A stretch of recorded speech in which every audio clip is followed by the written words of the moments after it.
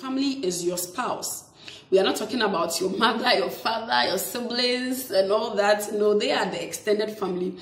But this, you know, tier two gives you permission with you and your immediate family. So that's your spouse and then your kids, your children, even if they are 10 they are all your kids and you can prove that they are your kids you can apply for them and you don't only need um, kids through birth it can also be kids through adoption. It's actually anybody that depends on you for support.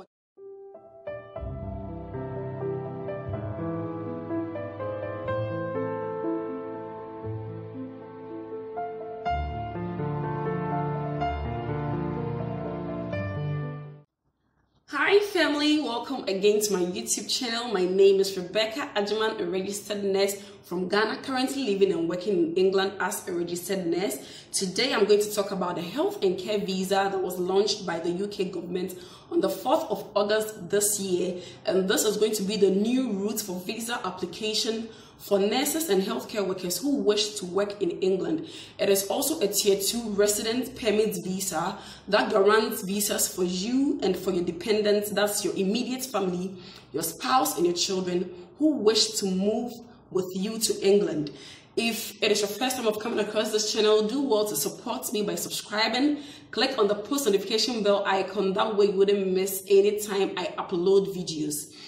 I always say that if you want to migrate to the United Kingdom, this is the great time and great opportunity for you to migrate because just a week ago, the government of UK released a 28 million pound funds to recruit international nurses into England to help the healthcare system of the United Kingdom. So if you want to migrate, it's an opportune time for you to move with your family and to give your career a facelift. Okay, so today I'm going to talk about the documents you need to apply for this particular kind of visa, the fees you are going to pay, the waiting period, and what you should expect and what you should do. Also, if you are applying with your family, the documents you need for your family and what you should do for your family. This has become necessary the reason we have to explain this particular process is because I'm having lots of questions from people asking about what to do and how to go about this particular kind of visa application. And also, I've seen people's visas being delayed. The fact that you're a healthcare worker applying for this health and care visa doesn't mean automatically within the waiting period you should have your visa. If you don't do things the right way, it's going to cause unnecessary delay in your process. And if possible your family can even be refused because you didn't do the right thing.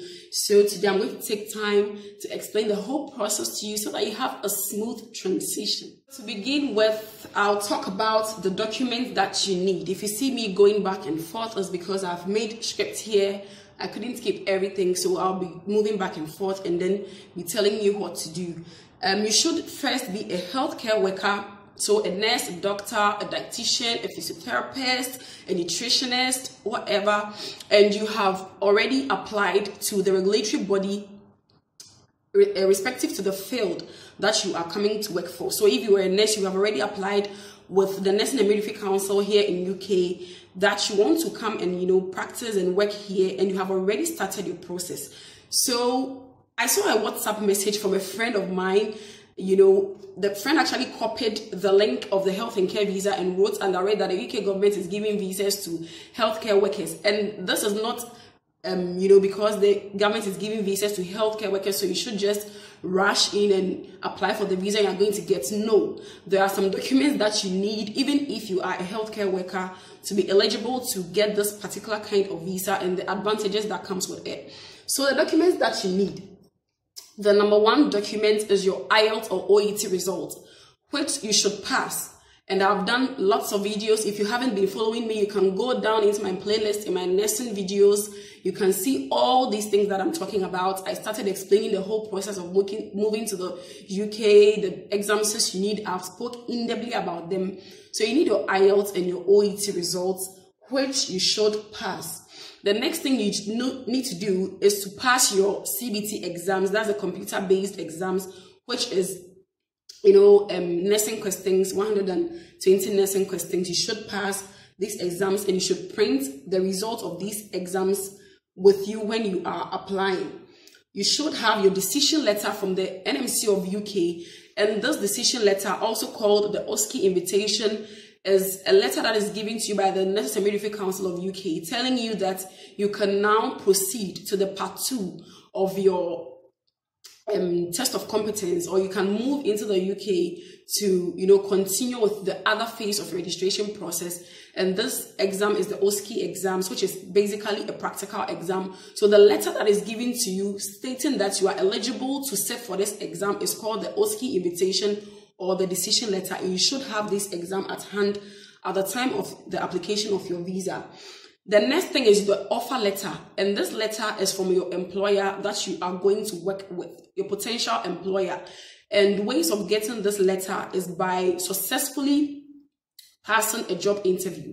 And as I've been saying, you can look for jobs, you know, by yourself, by doing direct application that's going on track jobs or NHS jobs websites. And then you search for the jobs, you apply by yourself, you search for the interview. And if you qualify, your employer is going to give you this offer letter or you can go through agencies that I have talked about in some of my previous videos. And these agents are going to help you secure a job with your employer. If you are successful in an interview, you would be given this job offer letter not later than a week of passing your interview.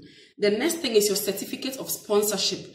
This is also a form of letter, which is just about two pages from your employer that you are going to work with stating that they are going to support you they are going to sponsor you throughout your journey or your transition from your home country into the uk so in this letter it states the salary you are going to be taking. It gives you a unique number and this number you are going to use to apply for your visa. And that number is very very necessary without the certificate of sponsorship you can still come to the uk but you are going to you know, it's going to be very, very financially involving because you have to bear your own cost and everything. But with this certificate of sponsorship, your employer is just stating in it that they are going to bear your cost for you, they are going to pay for everything. And in case you have nothing, in case you have no funds in your bank account, you don't need to prove any, you know, bank statement during the time of application because they are going to support you with your family. They are going to give you the initial monies you need and then they're going to also help you to settle in the UK. And this letter mostly comes within two weeks to a month. It shouldn't be more than a month of passing or being successful for an interview. You should have the certificate of sponsorship, you know, letter or form. The next thing you have to have is your tuberculosis certificate. And this certificate currently costs about $120 and you can get them from the IOM Center in any country that you are. I know that in Ghana, it's at um, Roman Ridge near the Jack and Jill School inside the airport residential area. So you go there, before you go, you have to book online. So you can go online and then you look for their address, you book, or I will leave their email in the description box below. You book for a space and then they give you a date. You go in and then you take your chest x-ray, you do some other things. And if you are free of tuberculosis, they give you a yellow paper as I'm showing here. And this paper, you know, states that you are free of tuberculosis and you need this particular certificate before you can apply for a visa. The next thing you need is your police clearance or your police certificate form, which you can get from any CID headquarters in your home country, stating that you have no criminal record whatsoever, you have never committed any offense, and you are clear to travel outside of the country.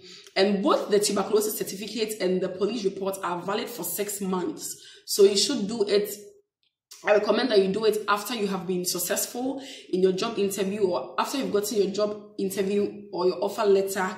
You just go and do this so that it doesn't expire because people, some people do it earlier, it ends up expiring and then you have to redo it again because if it expires, you can never use it for a successful application. So you have to bear that in mind.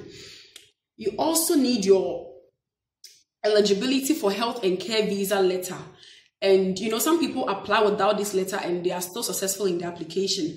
But it's you know, it's something that is new. Because if you are using this kind of visa route, the UKVI or the Home Office ask you that have you confirmed with your um, employer whether you are eligible to use this particular kind of visa?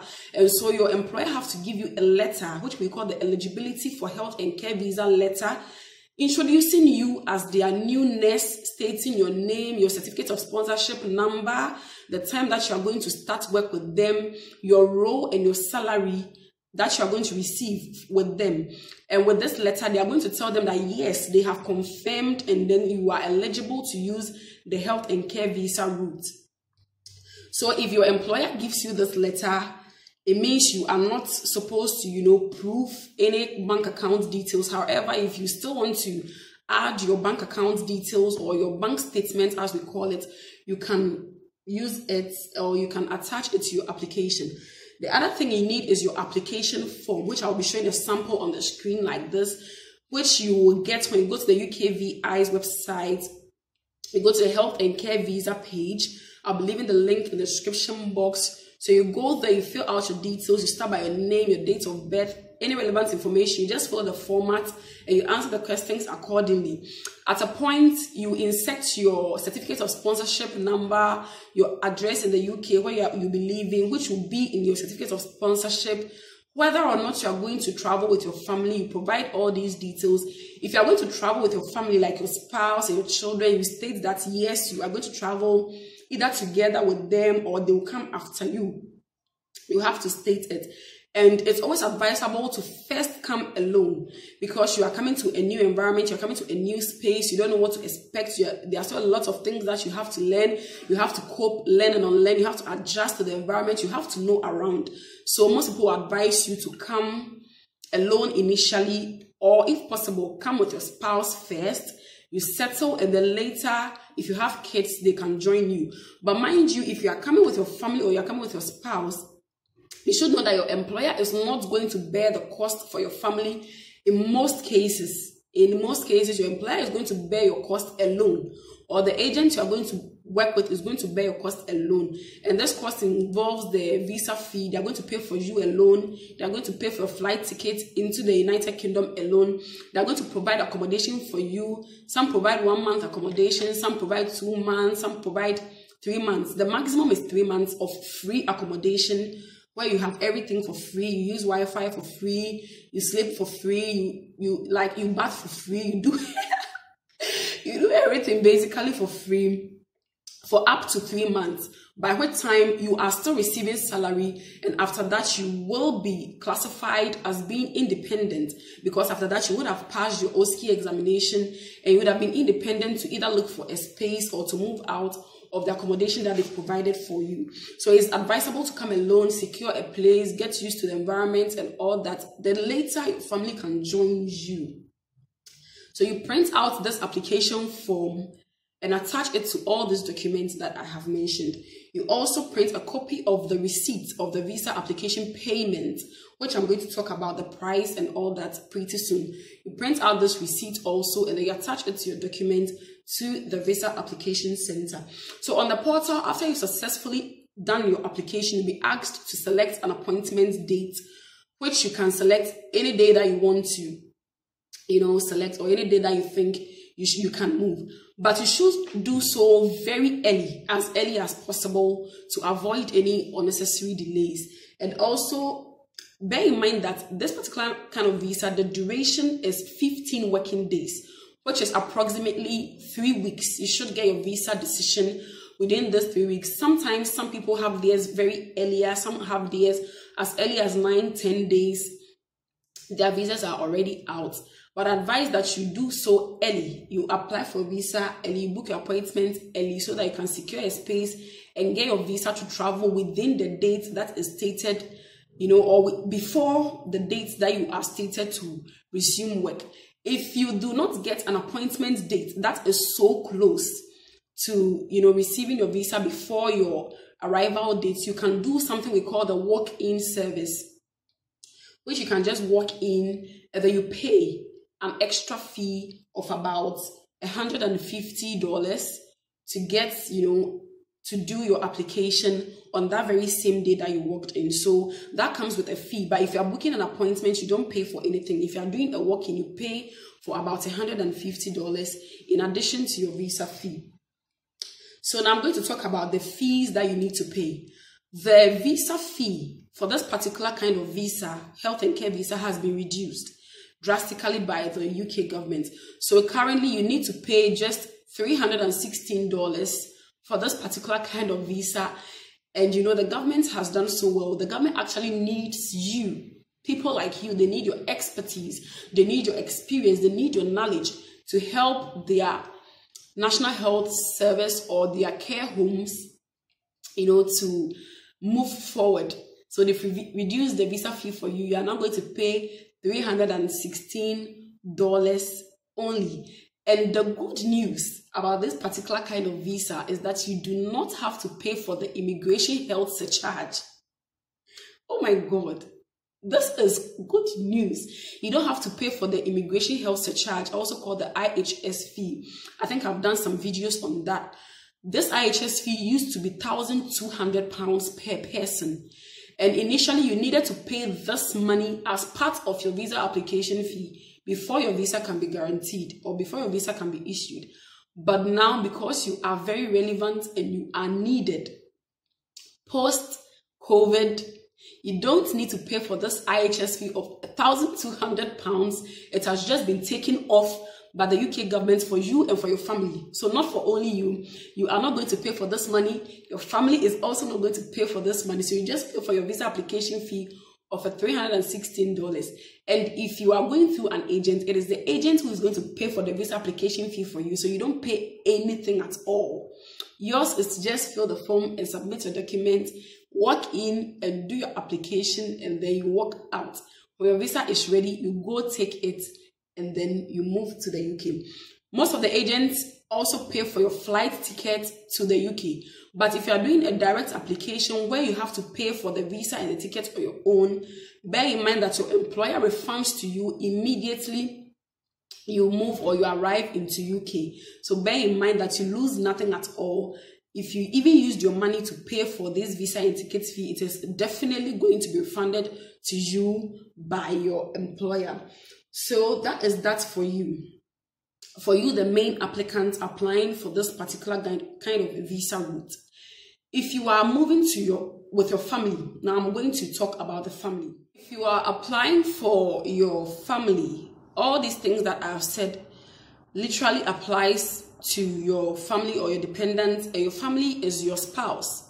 We are not talking about your mother, your father, your siblings, and all that. No, they are the extended family but this you know tier two gives you permission with you and your immediate family. So that's your spouse and then your kids your children. Even if they are 10 they are all your kids and you can prove that they are your kids. You can apply for them.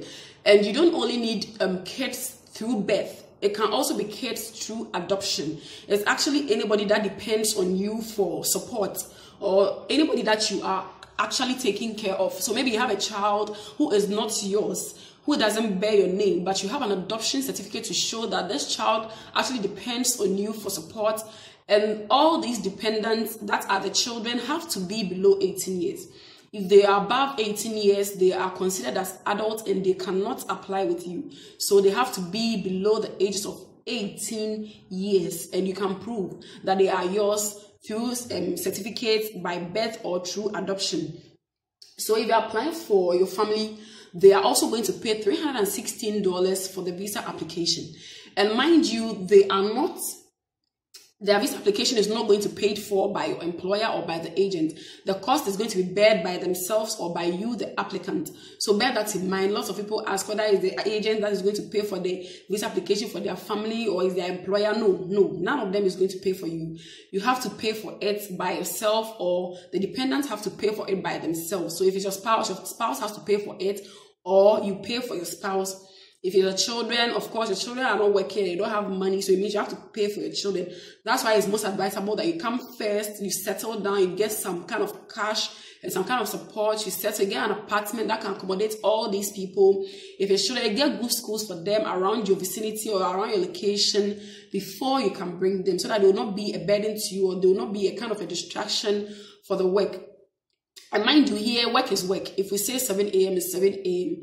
If we say 6 a.m. is 6 a.m. It's not 6.15, it's not 6.20. If it's 7 a.m., you even have to be there around 6, latest by 6.50. You have to clock in, change, and do all those necessary things into your uniform or into your scrubs before you know work begins.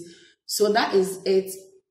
You need your certificate of sponsorship number and your GWF number to apply for your relatives. So after you have applied for your application, you will see a number called the GWF number.